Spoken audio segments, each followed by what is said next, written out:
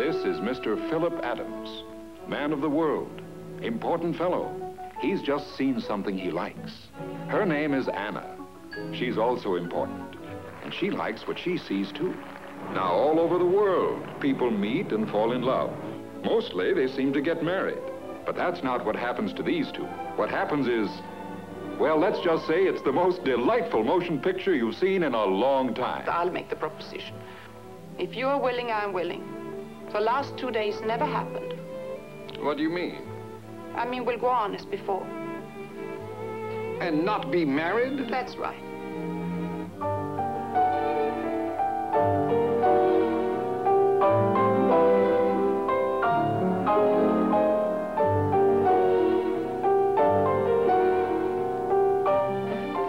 Very thoughtful of you not letting the telephone operator know that you're coming up here. Oh, that was the least I could do.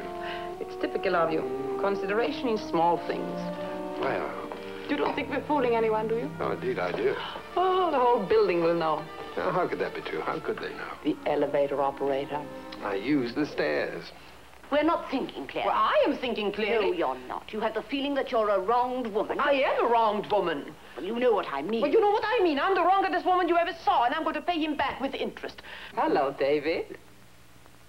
Well, this is quite a surprise. Oh. Should I? Uh... Oh, don't you dare leave. Well, I thought it might be a private conversation. Philip, you're not jealous, huh? Well, that's not jealousy. It's just common courtesy. You're blushing. huh? No, no, I'm not alone.